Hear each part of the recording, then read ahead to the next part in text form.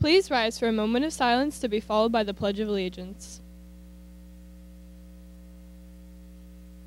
I pledge allegiance to the flag of the United States of America and to the republic for which it stands, one nation, under God, indivisible, with liberty and justice for all.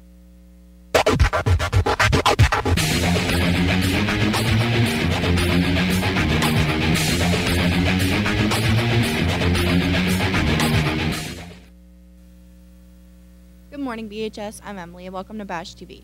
Today is Monday, May 15th, making today the official 163rd day of school and day one of the cycle.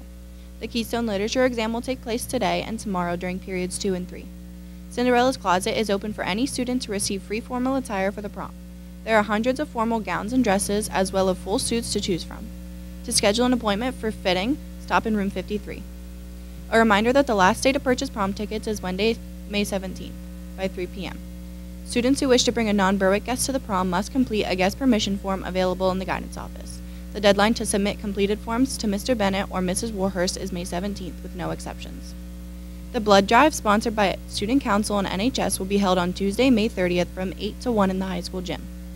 Students who would like to sign up to donate should see Mrs. Curry in the guidance office. Well, that's it for me, Now let's send it over to FYI.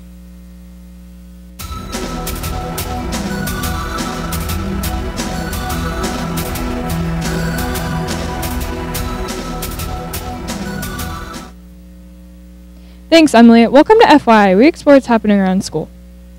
Looking for volunteer hours for your graduation project? Westbrook Elementary School is holding their annual Spring Carnival on Friday, May 19th, and need volunteers to set up, tear down, and help run the various game stands.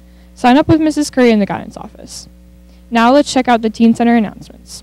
Back by popular demand, the Teen Center and the Bloomsburg Children's Museum are bringing back the culinary competition, Teen Chop. As a result, tomorrow the center will be closed for a regular drop-in, but anyone is welcome to participate in or watch chefs in the making. Pancake night will be held on Thursday, May 18th. Toppings and lots of syrup included. Bring your friends. Well, that's it for FYI. Let's over to Sean with sports.